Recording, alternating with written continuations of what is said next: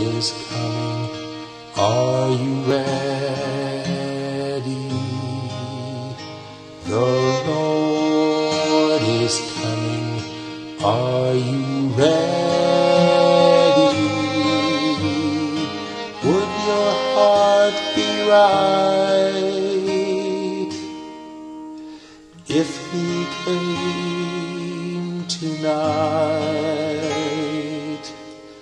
The Lord is coming. Are you ready? die volle christliche Reife erreichen.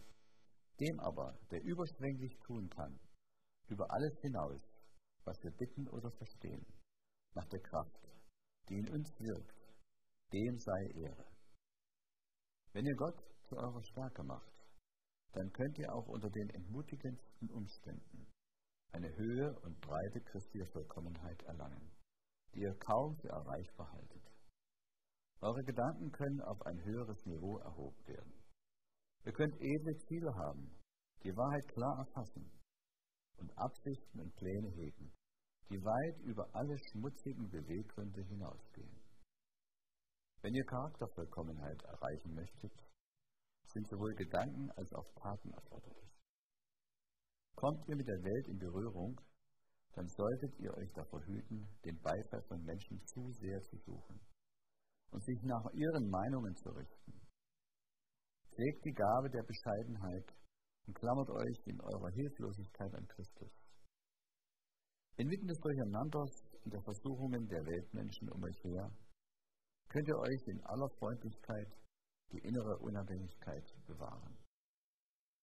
Wenn ihr täglich mit Gott Gemeinschaft pflegt, dann lernt ihr, Menschen so einzuschätzen, wie er es tut. Die auf euch ruhende Pflicht, der leidenden Menschheit zu helfen, wird ein williges Echo finden. Ihr gehört nicht euch selbst. Euer Herr erhebt heilige Ansprüche auf eure besten Regungen und den höchsten Dienst eures Lebens. Er hat das Recht, euren Körper und euren Geist bis zur äußersten Grenze eurer Fähigkeiten zu seiner Ehre und Verherrlichung einzusetzen. Welches Kreuz ihr auch immer zu tragen aufgefordert sein mögt, ihr solltet es klaglos annehmen. Viele leben ohne Gott und ohne Hoffnung in der Welt. Sie sind schuldbeladen, verdorben und heruntergekommen.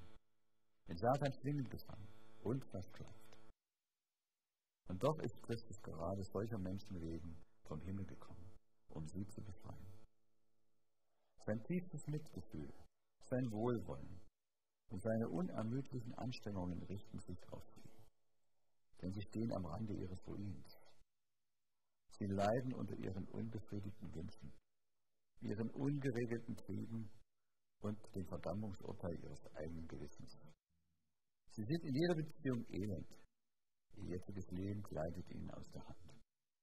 Und sie haben keine Aussicht auf das zukünftige Leben. Ihr habt ein wichtiges Arbeitsfeld und ihr solltet aktiv und wachsam sein und dem Ruf des Meisters gerne und rückhaltlos gehorchen. The Lord is coming. Are you ready?